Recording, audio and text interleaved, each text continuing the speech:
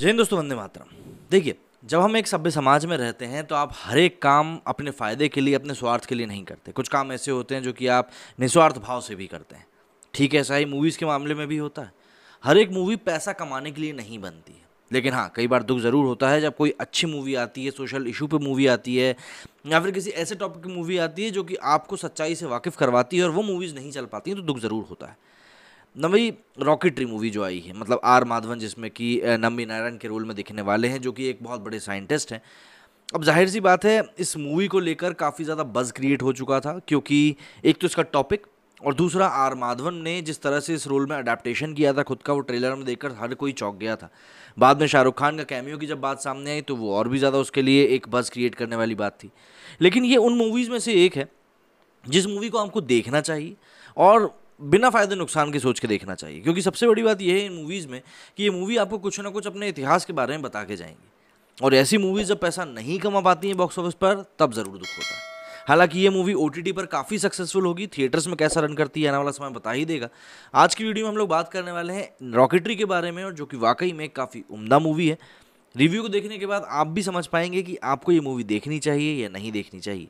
क्योंकि जो दूसरी नेशनलिस्ट मूवीज़ आती हैं ना, जिसमें कि मार धाड़ मसाला होता है ये मूवी उनसे वाकई में काफ़ी अलग है और आर माधवन का अब तक का मुझे सबसे बेस्ट परफॉर्मेंस लगा है और मूवी मेकिंग के मामले में मुझे ऐसा लग रहा है कि अब वो भी काफ़ी बड़े धुरंधर होते जा रहे हैं। सिनेमा की बात करें तो उसको यूँ ही समाज का आईना नहीं कहा जाता। कुछ फ़िल्में ऐसी आती हैं जो कि आपको अंदर तक झकझोर कर रख देती हैं। ऐसी फ़िल्में का मतलब कहीं ना कहीं आपकी ज़िंदगी ऊपर इफ़ेक्ट ज़रूर पड़ता है। ये बात अगर फ़िल्म रॉकेटरी द नंबर इफ़ेक्ट को लेकर कही जाए तो बिल्कुल भी गलत नहीं होगा। आर माधवन एक ऐसी फ़िल्म लेकर आए हैं जो हमें रोक कर सोचने के लिए मजबूर कर देती है। रॉकेटरी दिनम्बी इफ़ेक्ट को देखना, उन पलों को बार बार जीने जैसा है, जिसका कि आपके या मेरे जीवन में लंबे समय से आप इंतज़ार कर रहे होंगे। फ़िल्म पद्मभूषण सम्मान से सम्मानित रॉकेट वैज्ञानिक नंबी नारायण की ज़िंदगी पर आधारित है। एक ऐसा महान वैज्ञानिक जिसने रॉकेट साइंस की दुनिया में भारत को ऊँचा उठाने के लिए अपना सब कुछ दांव पर लगा दिया इसके बदले में उन पर देश से गद्दारी करने का ठप्पा लगा दिया जाता है। आर माधवन ने इस कहानी को पर्दे पर जीवंत करने की कोशिश करी है, जो शायद आपके भी रोंगटे खड़े कर देगी। इस फ़िल्म में आर माधवन ने निर्देशन में डेब्यू किया है। फ़िल्म की खास बात यह है कि इसे दो भागों में बांटा गया है। पहले हिस्से में नंबी नारायण की उपलब्धियों और देश के स्पेस विज्ञान में उनके योगदान को दिखाता है। तो वहीं दूसरे भाग में अन्याय के खिलाफ उनकी लड़ाई को दर्शाया गया है। इन दोनों ही हिस्सों में एक चीज़ कॉमन है, जुनून। वास्तव में फ़िल्म रॉकेटरी द नंबर इफ़ेक्ट उन सभी जुनूनी लोगों की कहानी जो अपने हुनर को अपना हौसला बनाते हैं। घर परिवार को निछावर कर देते हैं। फ़िल्म उन लोगों की भी कहानी है, जिन्हें ऊपर जाता देख उनके आसपास के लोग ही पीठ में छूरा भोग देते हैं। कहानी की बात करें तो फ़िल्म में दिलचस्प बात यह है कि इसमें बॉलीवुड के बादशाह यानी शाहरुख खान भी हैं। वो एक इंटरव्यूअर की भूमिका में है। इस फ़िल्म की पूरी कहानी बैकग्राउंड में है। नमी नारायण अभिनेता शाहरुख खान को अपनी कहानी सुनाते हैं, जिसके साथ कहानी आगे बढ़ती जाती है। फ़िल्म के शुरुआत में ही नम्बी नारायण रॉकेट साइंस तकनीक बेचने के झूठे आरोप की खबर सामने आ जाती है। बस यहीं से सिलसिला शुरू होता है, रॉकेटरी द नम्बी इफ़ेक्ट शुरू हो जाती है।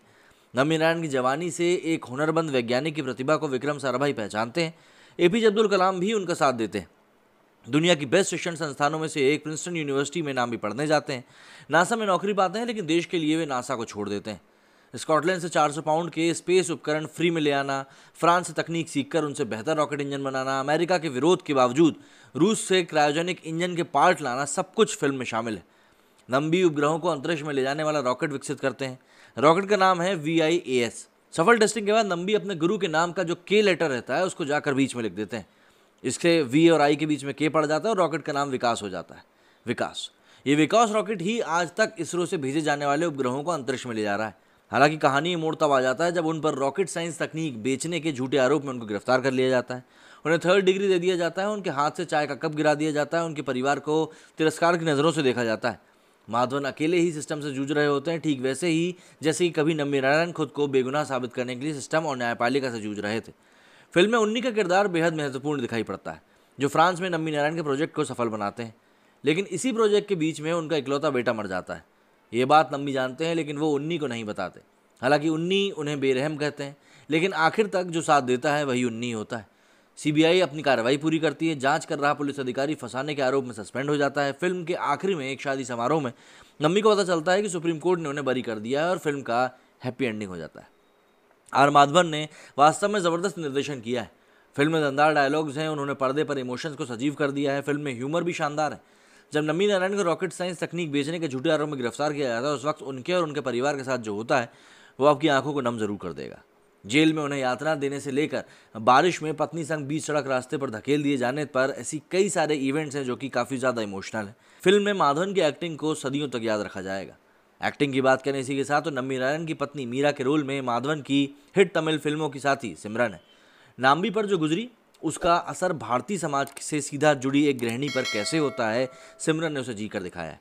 उनका पूरा दर्द निचोड़ देने वाला है, उन्हीं के किरदार की अपनी एक अलग पहचान है। बात करें मूवी की तो नम्मी नारायण खुद इस फ़िल्म की मेकिंग से शुरू से जुड़े हुए हैं।